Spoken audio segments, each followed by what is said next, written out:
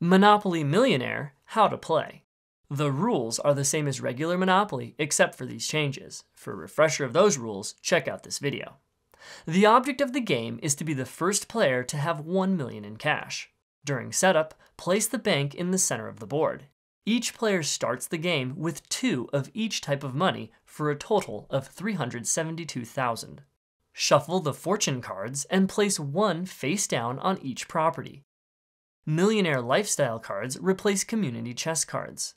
Each player starts the game with a level 1 token, which is the smallest of the three of that color. The middle size is level 3 and the large is level 5. Give each player a reminder card.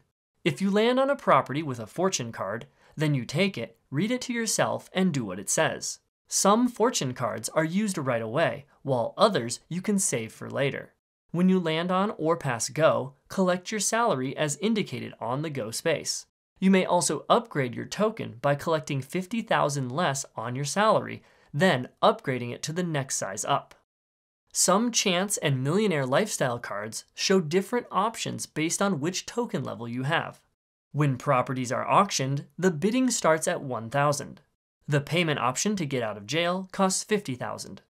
The only time you are allowed to sell houses, hotels, properties, or mortgage properties is when you are bankrupt. You may not perform these actions in order to help you get to 1 million cash or to buy a property.